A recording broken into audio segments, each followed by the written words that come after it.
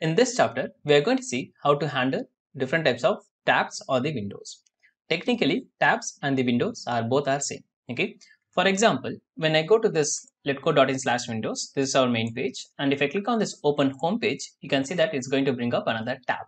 So when it is stuck within the browser, we call it as tab. If I plug it out, it is known as a separate window, right? But technically both are same. So there is no differences. So if I click on this, now I have to navigate and maybe I have to click the uh, test practice from this particular page. Okay, not this page, the second page, right? So we are going to see how to handle that. And it's going to be very simple. In Selenium, we call it as window handling um, concept, right? So first of all, first thing first, of course, we have to go and inspect this guy, the open home page, and we are going to use LetXPath as usual, and it has a ID called home. So we are going to do the click action. So let me use the click and I'm going to copy paste. And that's it. Pretty much simple right? Now once I click on that of course it's going to return the new uh, page right? So how to handle the new page is very simple. We have a concept called driver dot uh, switch to dot windows. And here we have to pass the window id how do i know the window id of course we have to take it from the runtime because the window id is going to be random or dynamic in for every execution. Okay now we have a function called driver dot get window handles.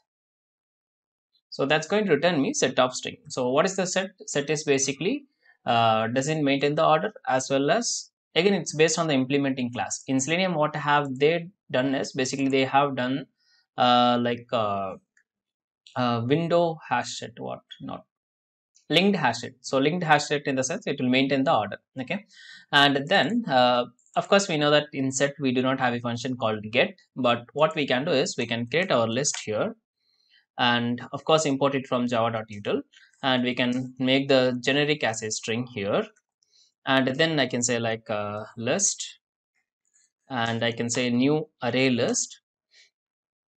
And within the constructor i can pass all the window handles. That means what are the set we are set objects we are getting we are going to pass that within the list now I know that list will have probably the get function. So I can switch based on that. How? Let me show you. Before that, we'll just try to print the size. So this is going to return me the uh, size, like the number of windows it opened. So I'm just going to print that. So number of uh, windows and then we'll just have the string concatenation. So we are expecting this to be switched, right? So I'm just going to comment uh, this one as of now and let's go and run this now.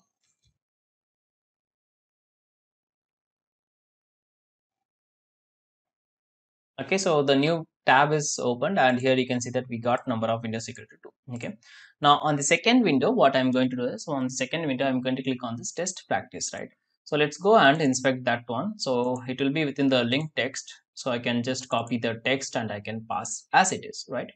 But before that of course i have to switch to that newly opened window right? So for that we are going to use driver dot switch to window. And here we have to pass the uh, string. String in the sense the window id right? So just in case if you want to know how the window id look i can do the for each here. So basically it's a string. So i can uh, i mean list of string so i can i will get one string at a time. And i will say this is like window id i can say something like that. And i can say sys out it right? So i can say out. Okay let me run this and show you how the window id is going to be look okay so let's see in the console and here you can see that it says like cd window some um, value right? So some uh, long value actually okay?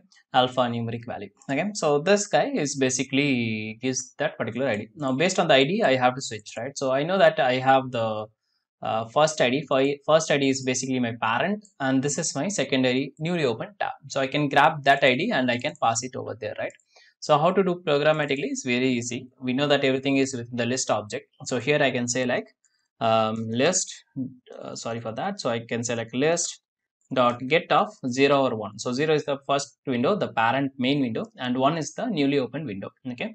Now once I um, navigate to the secondary child window, then I can say like driver dot uh, find element by link text and I can pass the test practice value uh, that is this one.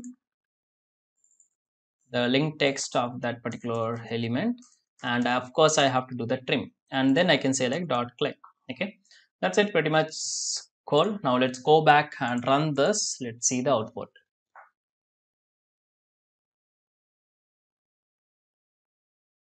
So here you can see that the test uh, practice out uh, link has been clicked and we are able to see this page right so if you want to confirm you can just uh, check the title or the url we haven't seen the haven't seen yet like how to verify the title or the url we will do that in the next chapter okay that's it pretty much cool this is what window handling switch uh, concept now uh, let's say that I have switched to this and I have clicked the uh, test practice site. Okay, after that I want to close this current tab. So what can I do is I can say like driver dot close. If you remember already I have discussed the difference between close and the quit. So close in the sense it will close only the current active tab, not the entire browser. Just to confirm that I'm going to run again and I'm going to show you.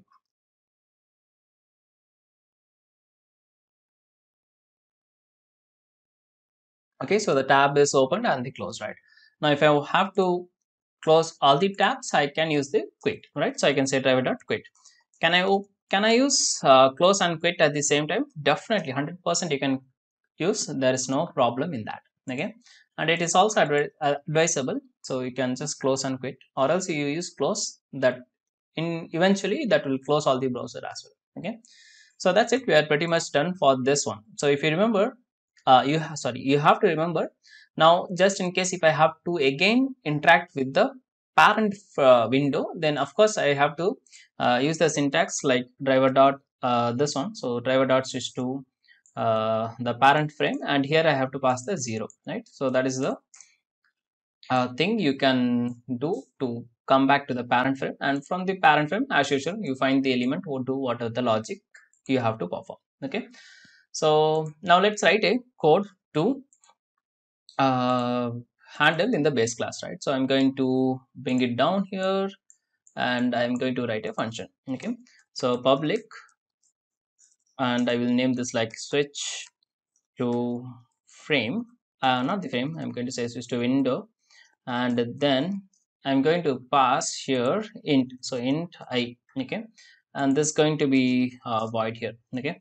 Uh, why I'm passing int here because if you noticed in the argument of this is to window is basically going to ask us the string right? So here you can see it is basically asking the name or handle that is string data type. But we are passing a uh, integer. The reason is within that we are going to use the same code like list.get and list generic type is basically string. So if we get something from that it will return only the string. Okay? I hope that makes sense to you. Okay now let's copy the entire code and uh, I'm just going to paste over there. That's it. Very simple. This is how we have to create the frameworks basically. The basic frameworks, not the advanced one. And uh, this is not needed. So we'll just uh, delete that code. That is just for learning. And here instead of one, I will pass it like I. Okay. So if you pass one, it will go to the new open tab. If you pass zero, it will go to the parent window. Okay. That's it pretty much cool. Now just in case if you want to uh, log something you can say like uh, switch to the switch to switch to the window switch to the window something like that okay? If you're understanding that's fine okay? That's it. Uh, we'll see in the next chapter very soon